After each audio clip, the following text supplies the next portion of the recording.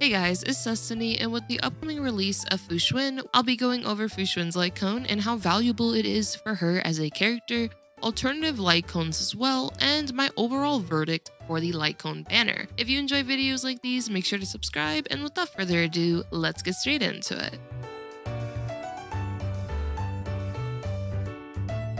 For a quick overview of what the light cone she already shut her eyes, this light cone is able to increase the wearer's HP by 24% and energy regeneration rate by 12%. When the wearer's HP is decreased, all allies damage dealt will increase by 9% for a few turns, and lastly at the start of each wave, health will be restored to equal to an amount of their HP loss. Overall, this light cone definitely has pretty nice benefits just right off the bat from what we can see, as it gives a really good HP increase for more sustainability. The energy regeneration rate also allows for basically a mini little energy regeneration rope to be on a preservation class character without having to get an energy regeneration rope onto them. So the 12% is very handy. And being able to increase the damage allies deal as well as restore their health passively is pretty freaking awesome and makes this cone pretty stacked on what passives and abilities it has. But now that we've gone over a just a mini overview of what the cone provides, let's go over the value it has for Fu and also what alternatives can exist.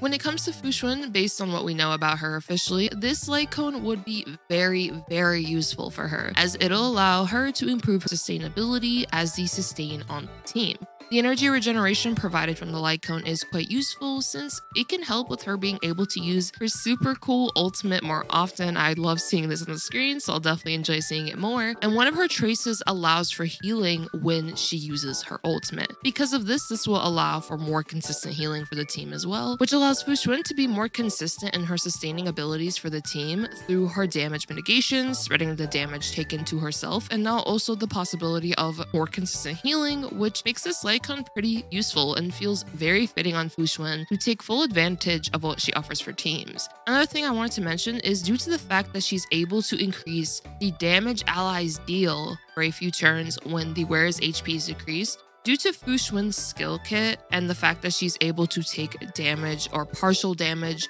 from the damage an ally takes, this means that the uptime of how much damage the team will deal through the light cone should be basically at 100% or near 100%, assuming that you're able to consistently take advantage of her skill kit. So overall, it just feels once again very fitting for her. But if we were to look at alternatives, the main alternative I would recommend based on what we know about Fu is Texture of Memories from the Herta Light Cone shop as this light cone allows the wearer to have additional effect resistance, and if they are attacked and don't have a shield, a shield will be created by a percentage of their max HP. As we know, Fu Xuan is not able to create shields, so she will be able to get the shield based on her max HP, this can be pretty good as a way for her to have increased sustainability, and of course, if you do have that shield active, damage taken will be further decreased. This light cone is honestly a pretty good, nice free-to-play option, as it allows for good survivability I would assume for Fu Xuan herself. However, it does not provide the same benefits as her signature light cone, which is the energy regeneration,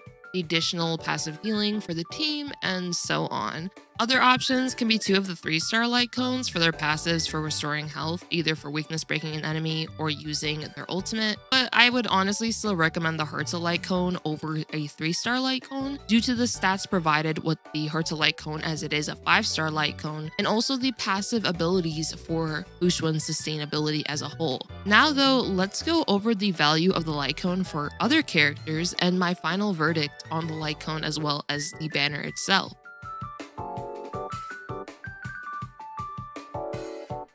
When it comes to other characters using this light cone, most of our preservation class characters would likely benefit from the Herta Shop light cone or Gepard's light cone, and a few of the 4-star light cones in the game as well. But all the preservation class characters can benefit from the ability to have team-wide healing, as now this allows for healing, and because most of our preservation class characters do create some form of a shield, now you technically have shields and heals in a sense. You also will have pretty good energy regeneration or just a way to get your ultimate faster with the light cone. And also the ability to increase the damage allies deal to enemies, assuming that your preservation class character gets hit, which most of the time our preservation class characters do get hit pretty often, assuming that you use them with what their skill kit entails. However, if you do use this light cone on other characters, you do give up the defense increase that most of the other preservation classic cones provide, but the passives with Fu Xuan's light cone is just super, super strong, and due to the light cone being a 5-star light cone,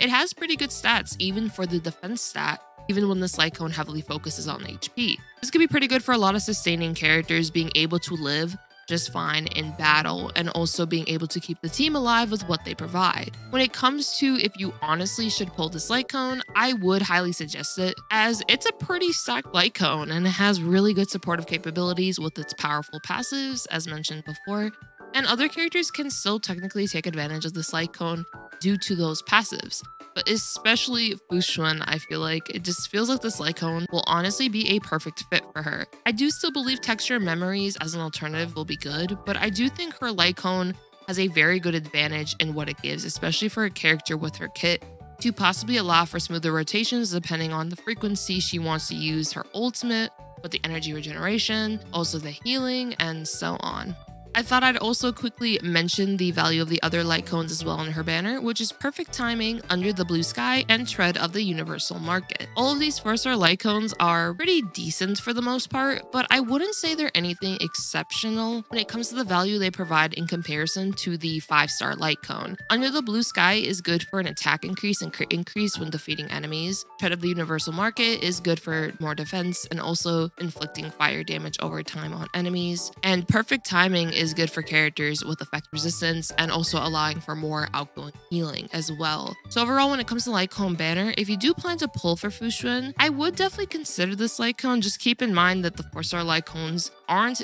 the greatest in my personal opinion, but I would also keep in mind, let's say there's a future character you're planning to pull for, or you're possibly interested in even Jingliu and Topaz. Based on the drip marketing we have seen, it's highly speculated that they will be in 1.4, I personally think they will just based off the pattern we have when it comes to showing off characters with drip marketing. So let's say you wanted to possibly get a signature light cone for Jingliu or Topaz. We don't know what they do, but I would assume they're pretty fitting for them as well the pattern we've seen with signature light cones and characters. So if you plan to pull for them, maybe pulling their light cone may be more beneficial for your account. If you do decide, okay, I'm just gonna pull Fu Xuan, I'm not gonna get the light cone, then of course, I would just recommend using the Herta Shop light cone as your alternative, but Fu Xuan's light cone is definitely awesome if you were considering it. I hope you guys though did enjoy my video on Fu Xuan's light cone, just a review of it and what I think of its value. If you guys enjoyed the video and also like Fu Xuan, consider leaving a like to support the video and also subscribe to see more Star Rail content from me. Like always, I hope you all have an awesome day.